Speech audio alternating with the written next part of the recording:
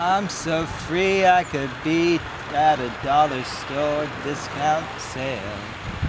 I'm free, free, so free. It just seems really funny when he does.